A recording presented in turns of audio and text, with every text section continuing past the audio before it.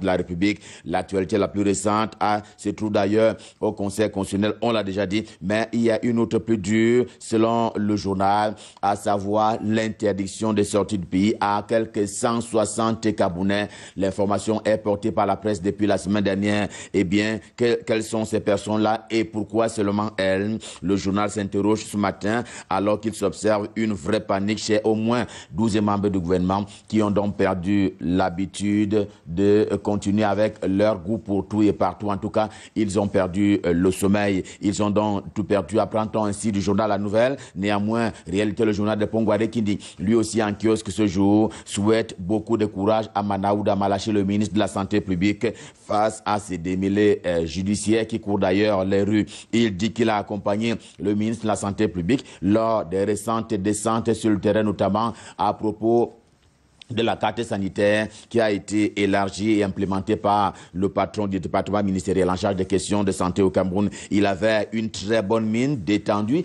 Dixit, réalité, le journal de Pongware qui dit qu'il croit savoir qu'il n'est pas du tout inquiété et que dans la sérénité de son côté. Censure Hebdo est également en kiosque. Le journal le présente d'ailleurs comme étant un coupable, mais un coupable très facile. Eh bien, Manaouda Malachi est un coupable trop facile simplement. Nous sommes là dans les questions de santé et donc, pour le journal, il va, il est question d'aller euh, plus loin en faisant d'ailleurs de lui, le ministre de la Santé publique, eh bien, une victime d'un acharnement né des batailles euh, politiques pour dire également un pan qui pourrait guider la compréhension que l'opinion publique a de Manaouda Malachi s'agissant de son bail à la tête de ce département ministériel. Quant à Info Matin, c'est le journal des dieux de 20, lui aussi en kiosque, c'est lundi, eh bien, il n'y a pas de doute. Joseph Betty, son mot est propre comme neige il ne s'est pas noyé dans le vaccin anti-Covid.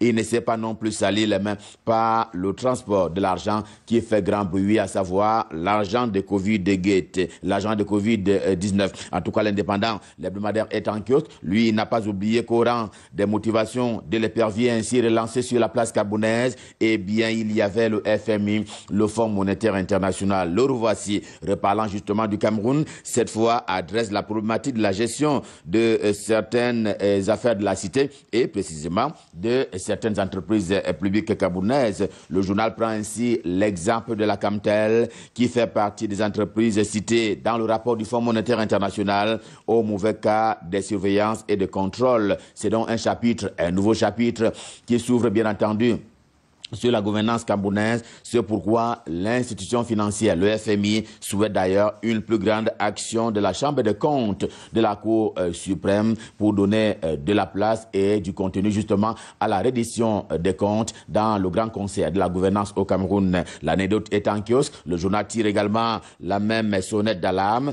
en ceci que Yaoundé, le pays de Paul Biya, ne respecte manifestement pas les lois qu'il s'est lui-même procurées. Le cas le plus récent et le plus cité par le Fonds monétaire international, qui pointe d'ailleurs un doigt accusateur, est donc le mandat sans fin des directeurs généraux, directeurs généraux adjoints, président de conseil d'administration des entreprises publiques au Cameroun, dont certains justifient d'un bail de 20 ans. De toutes les façons, beaucoup ont depuis traversé la barre de 9 ans, la barre de 9 ans étant, étant donc fixée au Cameroun comme étant le bail, le temps maximum qu'un DG ou un directeur général adjoint, encore moins un PCA, puisse passer à la tête des entreprises camerounaises. En tout cas, c'est une norme qui est royalement broyée au quotidien par l'establishment.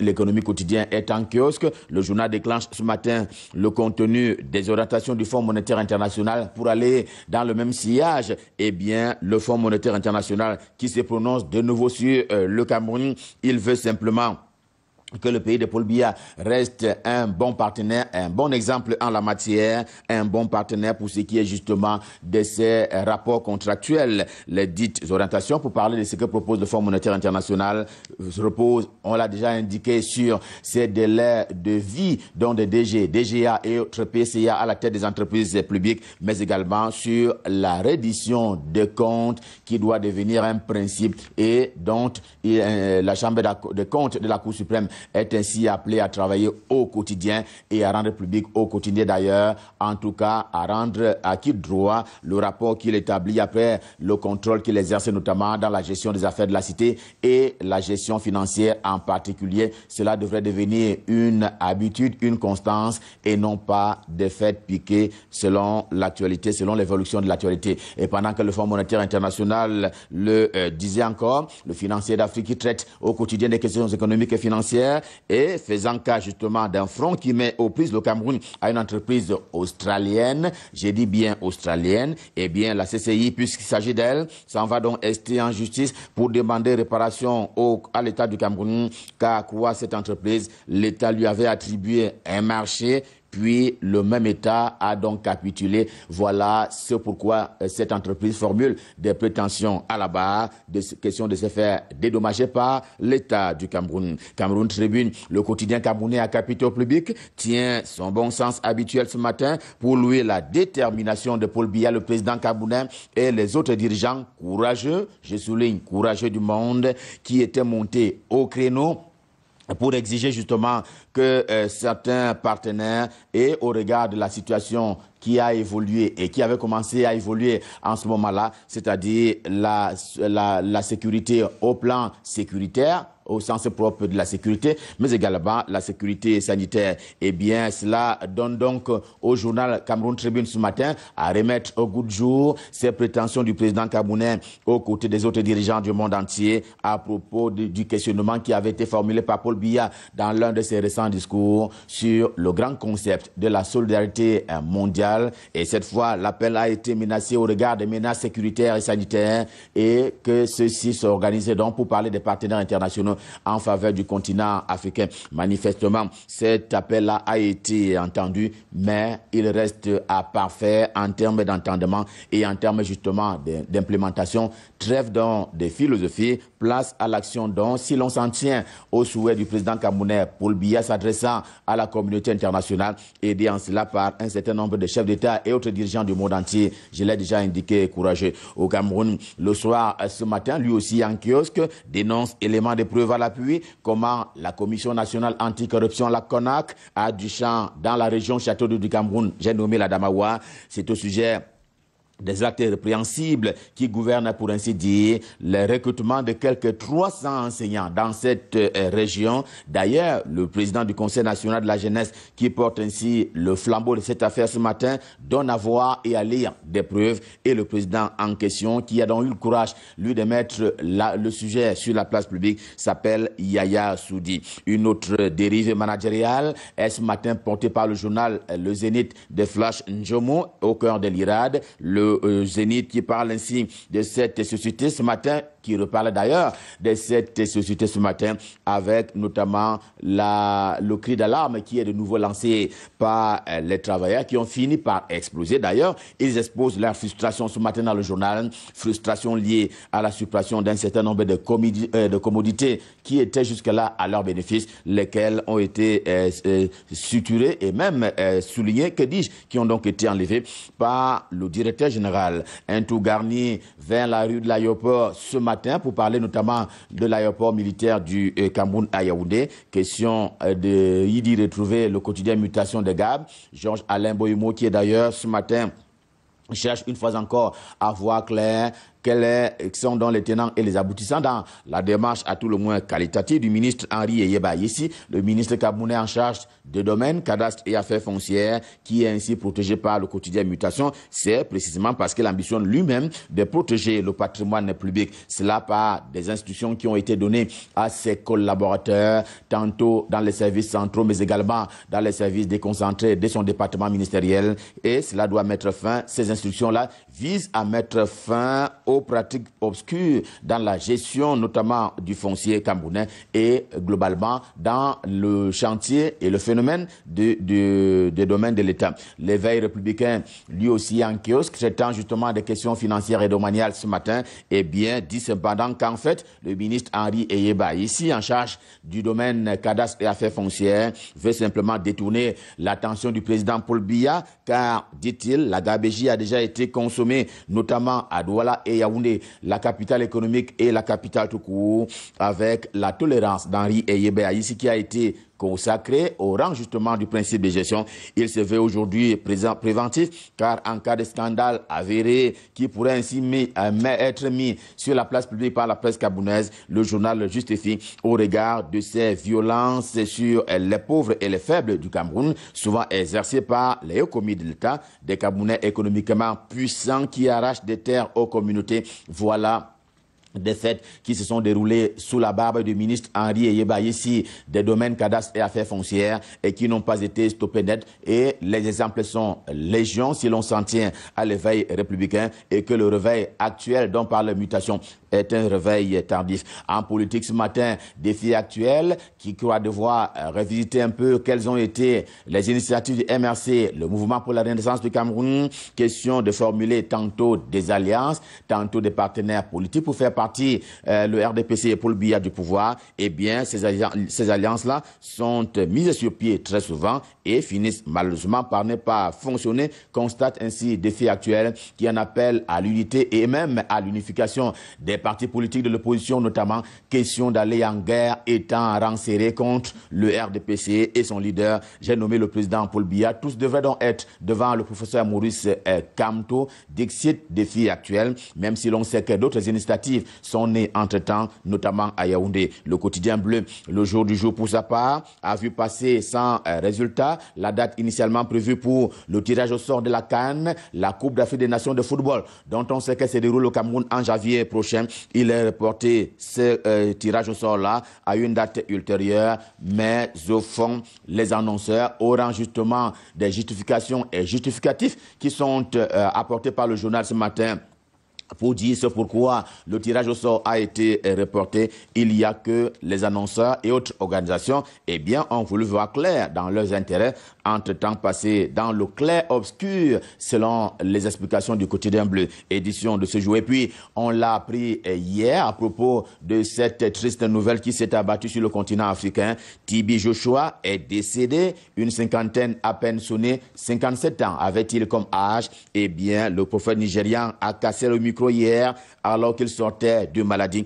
Tibi Joshua était un faiseur de roi et justement dont la liste est dévoilée ce matin par The Guardian Post, le quotidien camerounais d'expression anglaise au siège imposant à Yaoundé. D'ailleurs, le journal parle de cette perte comme étant une perte mondiale, l'histoire que personne n'a jamais racontée sur Tibi Joshua. C'est une exclusivité du journal de Christian Gage nommé The Guardian Post, édition de ce lundi. Revue de presse justement Made in Yaoundé à l'occasion de ce premier rendez-vous Stop Fin. Le cœur enflammé de joie, nous vous avons euh, servi. Rendez-vous demain à 7h. Pour le moment, partons à cœur joie à Douala pour retrouver l'homme à l'adresse particulière, Michael Tiptio. J'aime ainsi à l'annoncer. Il est dans les studios de Canada International à Douala. Je lui passe le pouvoir et le témoin pour la suite et la fin de la revue de presse. Bonjour Michael, bon début de semaine. C'est à vous, c'est à vous à Douala.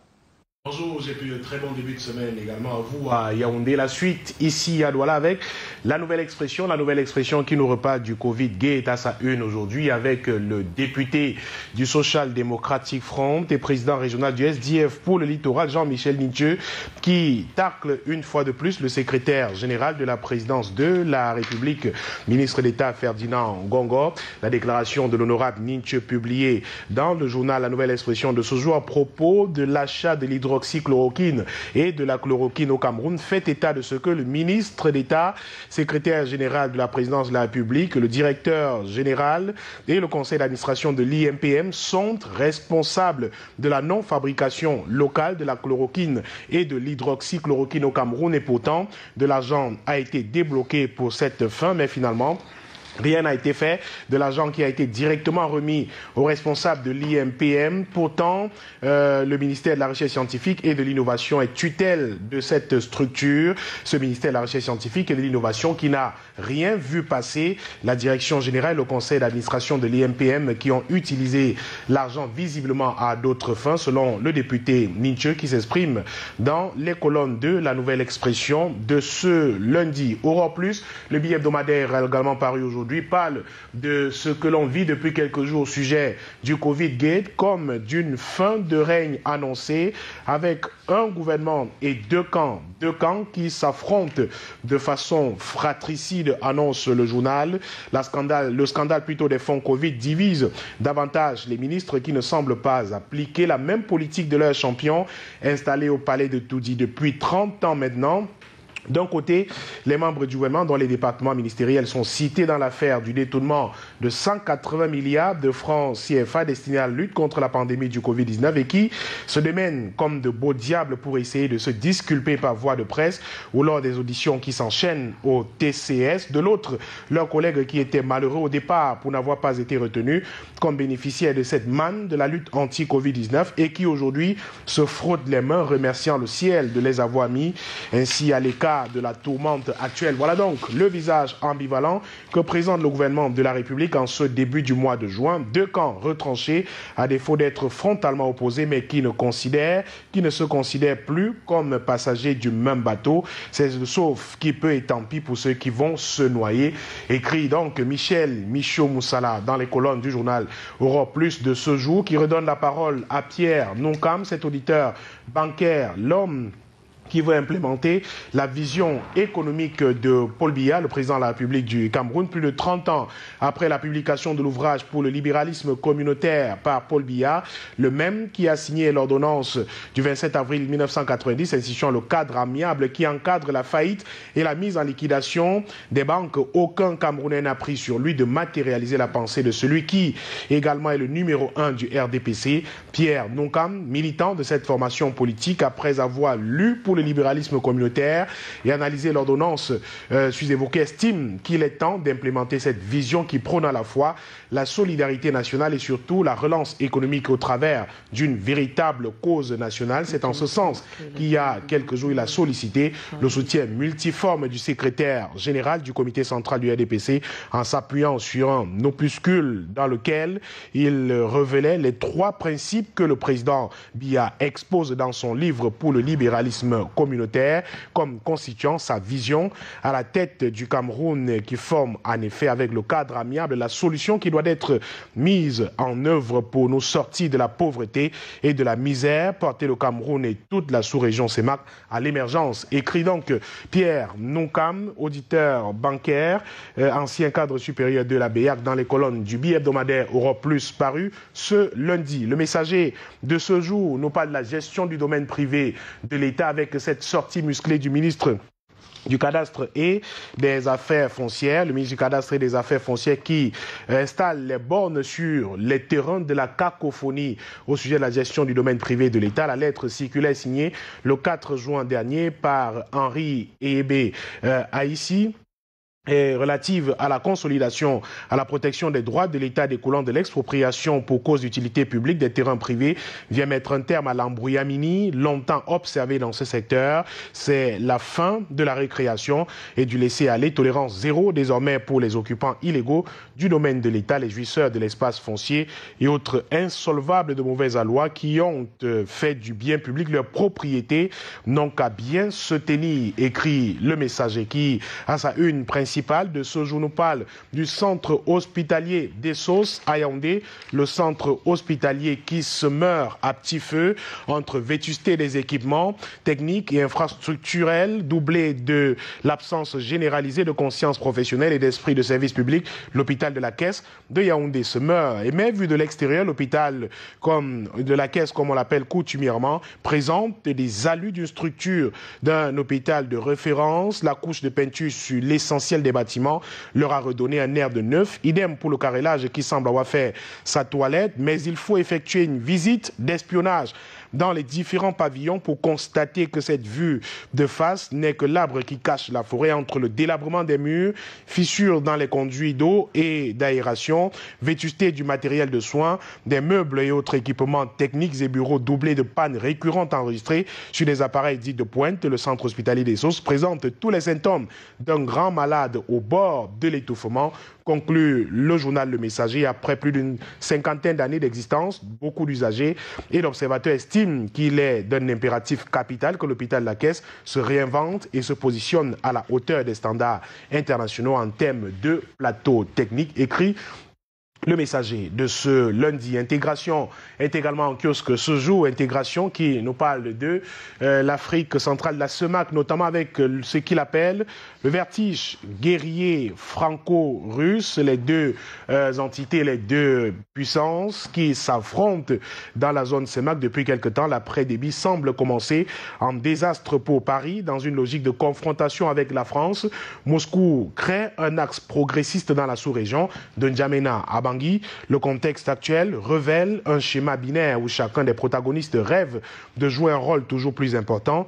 Le journal nous livre un zoom, un zoom de deux pages sur cet affrontement euh, guerrier finalement entre la France et la Russie dans la zone euh, CEMAC et notamment dans deux pays, le Tchad et la République centrafricaine, à la lumière des événements qui se sont produits entre ces deux pays il y a quelques jours. La zone anglophone du Cameroun où des prélats sont toujours persécutés, le clergé catholique pris entre mille feux depuis quelque temps, menacé de toutes parts dans cette partie du pays. Fidèles et prélats clament leur innocence, parfois accusés de soutenir l'État, accusés par des séparatistes de soutenir euh, l'État. Ils se défendent et parle justement dans leur position de neutralité dans cette guerre, appelle justement au retour de la paix dans ces deux localités. Et cette guerre qui a euh, causé la fuite de nombreux enseignants dans ces localités, ils sont plus de 6830 enseignants qui ont croqué 26 milliards de francs CFA sans travailler dans cette localité. Le guerre régional du ministère des enseignements secondaires pour le Nord-Ouest dresse aux conseillers régionaux le tableau sombre de l'impact de la crise sociopolitique sur le secteur éducationnel dans cette région du pays, des enseignants qui ont fui à cause de l'insécurité qui prévaut dans cette partie du Cameroun. Indépendant est également paru aujourd'hui, l'hebdomadaire qui nous parle des entreprises publiques avec le Fonds monétaire international qui indexe ce qu'il appelle la GABEJ, la GABEJ dans la gestion des fonds publics, dans un rapport rendu public en mai dernier sur la surveillance et le contrôle des entreprises publiques camerounaises. L'institution financière internationale estime que l'action de la juridiction des comptes devrait être accrue en 2022 au Cameroun, écrit le journal L'Indépendant. En kiosque aujourd'hui, le tri hebdomadaire L'œil du Sahel est également paru aujourd'hui et nous parle de recrutement des instituteurs dans les régions septentrionales du Cameroun avec cette alerte, alerte lancée par le Conseil national de la jeunesse du Cameroun avec son président qui dénonce le non-respect des quotas dans la région de l'Adamawa précisément. Il a adressé une correspondance au ministère de l'Éducation de base pour lui signaler les magouilles autour de l'enrôlement de 300 enseignants dans cette région du pays. Les détails à retrouver dans cette correspondance que l'œil du Sahel publie d'ailleurs en intégralité dans ses colonnes de ce jour. Et on reste dans le secteur de l'éducation avec la réalité des 320 écoles coraniques de Marois dans la cité de capitale de l'extrême nord. On compte environ 320 écoles coraniques dont beaucoup sont tenues par des femmes dans les sarés.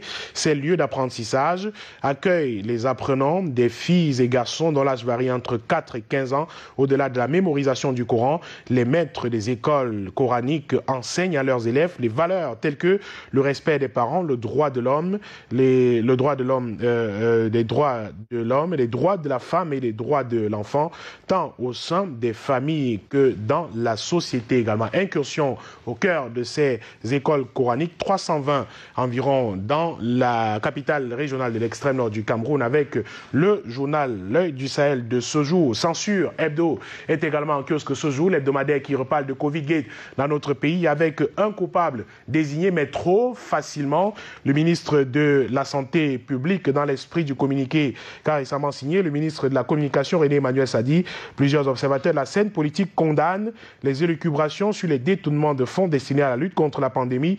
Coronavirus par le ministre de la Santé publique et voit derrière l'acharnement dont il fait l'objet dans certains médias de simples manœuvres de déstabilisation de cet homme qui ne fait que son travail. Et l'édition spéciale du journal Censure, également en kiosque ce jour, nous parle de la Coupe d'Afrique des Nations 2021 et les combines les combines bien sûr du ministre du ministre des Sports et de l'Éducation physique, pardon, le jeu de mots employé par le journal Ce Jour revient sur le volet culturel de la grande fête du football africain qui doit se tenir au Cameroun dans quelques mois, euh, qui viennent d'être euh, honteusement sabotés quand il y a sport, il y a culture. C'est pour cela que le peuple s'offusque devant les turpitudes et les incuries des, réseaux qui organisent des, des complots pour déstabiliser le président de la République en mettant à mal le secteur culturel dans l'organisation de cette Coupe d'Afrique des Nations au Cameroun. Un autre journal qui parle des questions d'économie,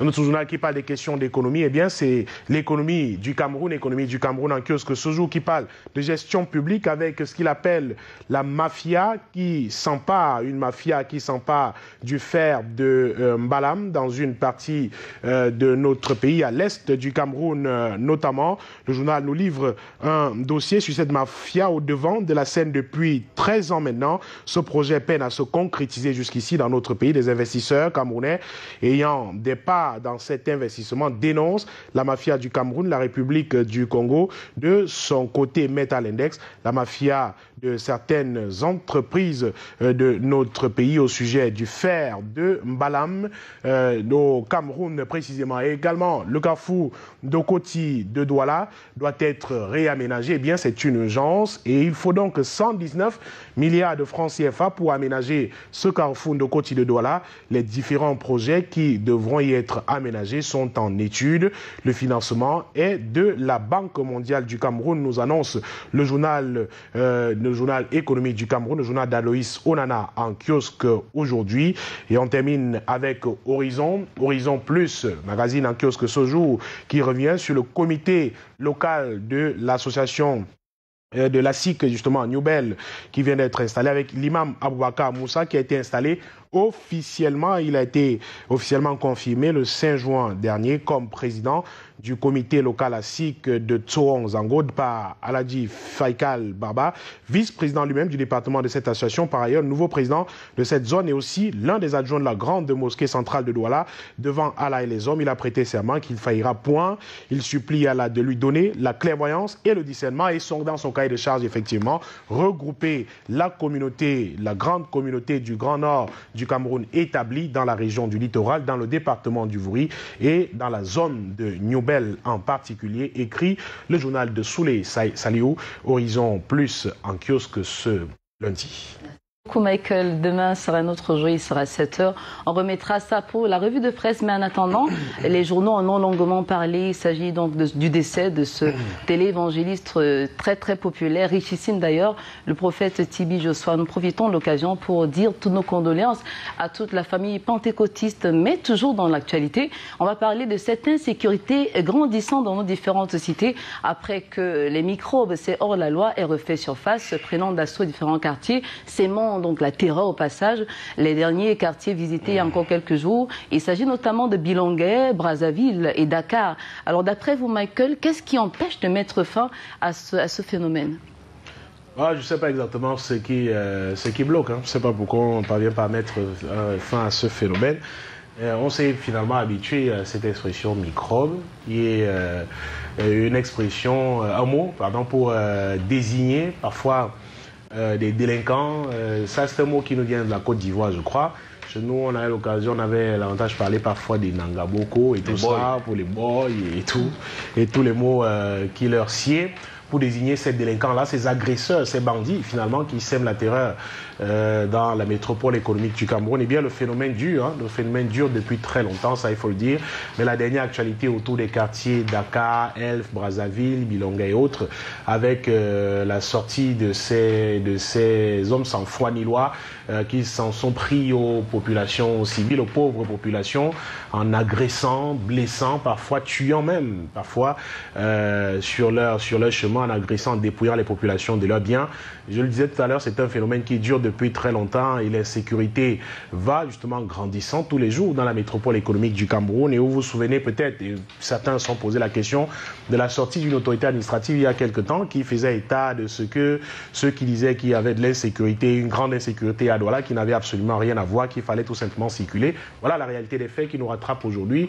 Et on se retrouve effectivement face une situation euh, très compliquée, très difficile à, gérer, effectivement, avec euh, ces euh, petits bandits-là qui sortent de, nulle part et sèment la terreur dans de nombreux quartiers en l'espace d'une soirée seulement, en l'espace de deux heures, parfois trois heures, dépouillent des populations, blessent, tuent, enlèvent, des, enlèvent récupèrent des, marchandises des petits commerçants et bien d'autres. Donc, euh, on a, assez demandé, on a assez demandé pourquoi ça a perdu. Et Patricia a bien posé la question tout à l'heure. Euh, malgré la multiplication des postes de, police, de gendarmerie parfois, des petits postes qui sont installés dans, dans des quartiers pour tenter de dissuader euh, ces hommes sans foi ni loi, là, on constate tout simplement que le phénomène va grandissant et Douala aujourd'hui se présente comme l'une des villes les plus dangereuses. dangereuses. Et puis, souvenez-vous, il y a un classement qui date, je crois, de 2006 ou 2007, si mes souvenirs sont exacts, qui classait la ville de Douala parmi les trois villes les plus dangereuses en Afrique en Afrique. Et puis, euh, quand on revit ce phénomène aujourd'hui, quand on avance et que l'on vive encore en pleine ville, en pleine métropole économique du Cameroun, ce type euh, de choses, on est à se demander euh, ce que font effectivement nos autorités pour calmer le jeu, pour que de, ce type de choses ne se reproduisent plus. aujourd'hui, on est face justement à la réalité. Les pauvres populations se font agresser. Vous marchez en plein jour, vous vous doutez qu'un individu peut surgir de nulle part, il vous brandit un couteau, une machette, une arme à feu parfois, hein, pour vous dépouiller de tous vos biens et tout. Donc l'insécurité est de partout désormais. Vous ne pouvez plus circuler sans avoir peur. Vous montez, euh, vous empruntez une moto, une moto taxi, vous avez peur de vous agresser au bout, au bout, au bout de la route. Vous entrez dans un taxi, vous avez peur de vous faire dépouiller ou alors de vous faire agresser dans le taxi en question. Vous marchez à pied, c'est la même peur, la même crainte. Mais où est-ce qu'on met la tête finalement? Qu'est-ce qu'on fait? Multiplier les patrouilles policières dans les quartiers euh, populeux de la ville de Douala parce qu'on se rend compte que les patrouilles se font dans les quartiers résidentiels, mais est-ce qu'il ne faudrait pas multiplier euh, euh, ces patrouilles-là dans des quartiers euh, assez populeux de la ville Pas que dans les quartiers résidentiels, et moi j'en ai vu personnellement parfois ces patrouilles-là de police dans des quartiers populeux, comme vous, comme vous avez appelé tout à l'heure. Et je crois qu'au-delà justement de multiplier ces patrouilles-là, il faut que l'on renforce ces services de renseignement, par exemple, ces services de renseignement qui peuvent dénoncer ces poches-là parce que ces bandits-là ne vont pas de nulle part. Ce sont des organisations bien connues parfois dans des quartiers qui sont bien établis, qui sèment la terreur au quotidien et qui un jour ou l'autre se croient supérieurs parfois à nos forces de sécurité et croient devoir aller plus loin en marchant dans la rue, pratiquement en dépouillant des gens, en agressant euh, et autres. Donc je crois qu'il faut renforcer également ces services de, renseignement là et puis euh, mettre dans des quartiers parfois des gens qui peuvent dénoncer cet, état de choses. Je crois que ça se fait, ça se fait déjà, mais je crois qu'il faut amplifier, il faut, euh, il faut faire donner euh, plus de confiance. Il faut protéger également ces dénonciateurs. Là, parfois, des gens ont peur de dénoncer parce qu'ils craignent ce qu'on appelle les retours et autres, ce qu'on appelle le phénomène de retour. Moi, j'ai une question qui me taraude l'esprit. C'est vrai peut-être qu'il faut euh, multiplier euh, les patrouilles, il faut protéger les indiques et tout. Mm. Mais, sauf que les prisons sont toujours. Enfin, il y, a toute une pléthore de, prisonniers dans nos, dans nos prisons qui sont pleines. Mm. Et donc, si on arrête ces présumés microbes et qu'on les ramène en prison, est-ce qu'il est y aura de la place? Est-ce qu'il ne faudrait pas désengorger déjà euh, la prison ou alors créer une autre, euh, construire une autre prison peut-être euh, dans les périphéries? Pour pouvoir bien évidemment orienter ces malfrats vers d'autres prisons parce que la prison de Nouvelle est elle est, saturée, je suis d'accord avec vous. Mais on ne pourrait pas s'appuyer sur le prétexte de ce que les prisons sont pleines pour laisser les gens agir comme ils, comme ils veulent. De toutes les façons, il est clair, il est évident que quel que soit le, fait que la prison est pleine et autres, il y aura toujours de la place il y aura toujours de la place pour des personnes dangereuses qui se livrent à, à n'importe quoi. Oui, absolument, il y aura toujours de la place pour ces personnes-là. Donc, euh, il, faut, il faut y aller, il faut, trouver des, des, des, il faut trouver des solutions, il faut résoudre la question euh, de façon plus claire, c'est-à-dire que mettre les populations en sécurité, leur montrer que, bah, écoutez, euh, nous sommes à vos côtés et nous nous battons pour que vous soyez en sécurité. Je crois que c'est ce qu'il faut faire. Donc, euh, le fait que les prisons soient pleines ne peut pas justifier que l'on laisse des gens agir comme ça, de, euh, comme ils veulent, blesser, tuer des gens, dépouiller et, bien d'autres. Oui, c'est clair. Vous avez raison, parfaitement raison. On est très d'accord avec vous, Michael Tipio. Avant de vous laisser partir, on a plein de gâteaux à manger aujourd'hui. Hein. Il y a pas mal de personnes qui célèbrent leur an de plus aujourd'hui, parmi lesquelles notre très cher fashionista Zouzou, qui sera d'ailleurs là aujourd'hui. On a aussi une magnifique princesse qui a un an de plus, elle s'appelle Joyce, Joyce Picard. Joyce Picard, la fille bien-aimée de Aimé Raoul Picard. Donc euh, Joyce qui a un an de plus aujourd'hui à HBD. Et bien sûr, Yonta électronique de la Chine. Yonta électronique de la Chine, c'est comme ça qu'on l'appelle. Allez, très bon anniversaire. On va